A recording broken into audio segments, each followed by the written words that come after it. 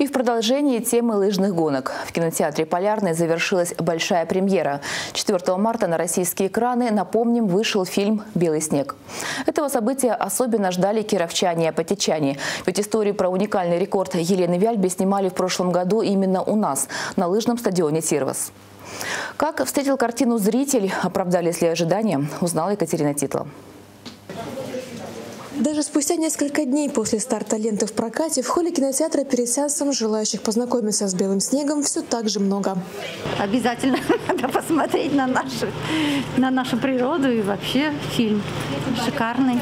Поэтому я думаю, что впечатления будут отличные. Насколько мне известно, фильм снимался в наших краях, и э, было бы интересно посмотреть, как э, все это выглядит на экране, на большом экране в кино.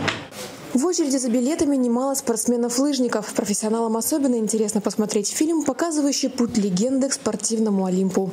Мы с ней встречаемся на семинарах для судей, когда она бегала, выступала. Вот. И на съемках фильма мы когда были, она тоже там присутствовала, помнит нас. И наши дети снимались в этом фильме со спортивной школы «Олимп».